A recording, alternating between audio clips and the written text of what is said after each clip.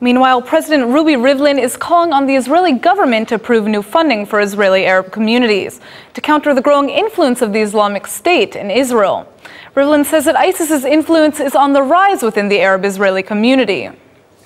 מחקרים, מעצרים, עדויות וניתוחים גלויים וסמויים, חלקם שנעשו כאן במכון, מצביעים בבירור על אהדה גוברת והולכת ואף על הצטרפות ממשית לדאעש בתוככי ערביי ישראל.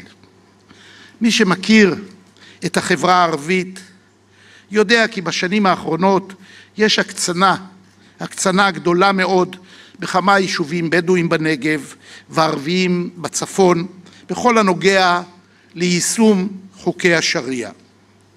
גם מקומות וקבוצות שזוהו כחילוניים מושפעים כיום מרעיונות קיצוניים. He believes Israel must offer an alternative to the Arab public, which requires a meaningful financial investment. Last month, the cabinet passed an estimated 15 billion shekel plan for development in Arab communities, but the funding has not been finalized.